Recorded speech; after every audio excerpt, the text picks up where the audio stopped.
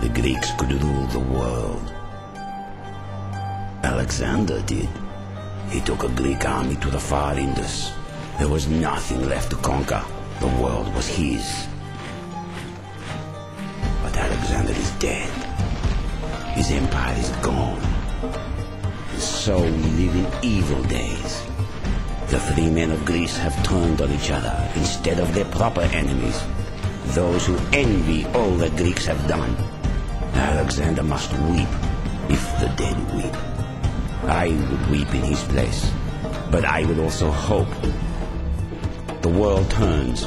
What was may come again. The fates still spin the web of men's lives. So now, perhaps the gods wish Greeks to be great again. Perhaps a new Alexander will take up the sword. Bring order where there is chaos.